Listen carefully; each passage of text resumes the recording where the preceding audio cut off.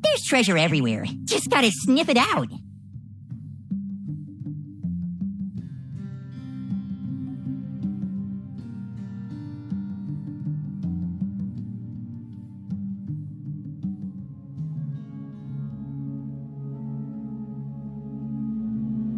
Sneak and Sniff is probably the most straightforward one out of the bunch because you don't even need to dig anything.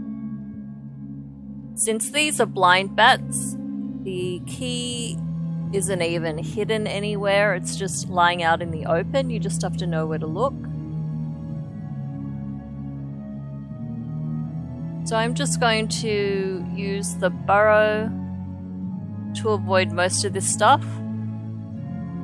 Uh, particularly those swirly things because there is a mob underneath those. So if you just ooh, go around,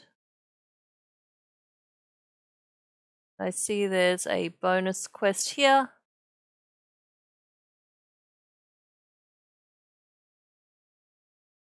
And then the key is over in this direction.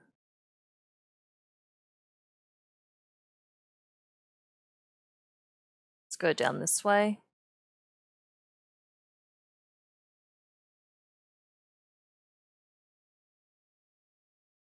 And here you go. Jingly keys.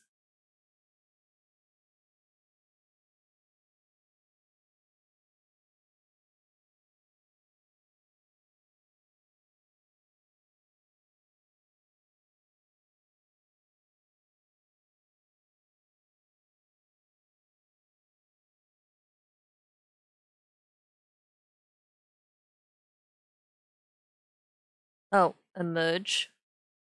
Okay, put him down. And there you go.